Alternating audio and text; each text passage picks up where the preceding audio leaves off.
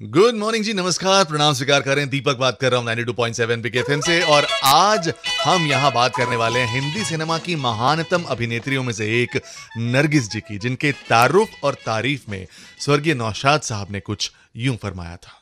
घर बसा करते हैं दुनिया में उजड़ने के लिए। लोग मिलते हैं यहाँ, मिल के बिछड़ने के लिए। सब चले जाते हैं, रहता है यहाँ कौन सदा? किए जा सबका भला। ये मैं उस शख्स और उस हस्ती के लिए कह रहा हूँ जिसका नाम नरगिस था। वो एक नेकी और भलाई का नमूना थी। वो सही मानों में एक बहुत बड़ी इंसान भी थी। फ़िल्म की कलाकार एक अलग चीज़ है। उसमें उन्होंने एक अपना मकाम जो पैदा किया, उससे हर शख्स वाकिफ है। उन्होंने एक नया रास्ता, एक नई मंजिल लोगों को दिखाई। बहुत खूब। फातिमा रशीद उर्फ़ नरगिस का जन्म 1 जून उन्नीस को कलकत्ता के एक ऐसे घर में हुआ जहाँ शुरू से ही फिल्मी माहौल था। उनकी माँ जद्दन बाई एक मशहूर गायिका जो थी। ज़ाहिर सी बात है कि कला नरगिस को विरासत में ही मिल गई।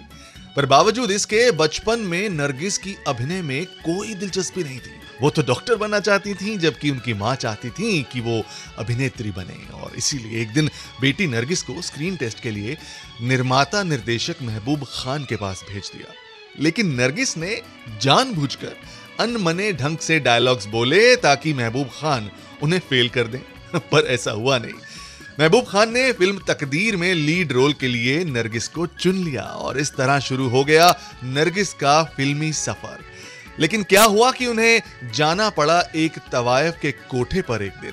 बताऊँगा कुछ ही देर 92.7 Big FM good morning Deepak है मेरा नाम।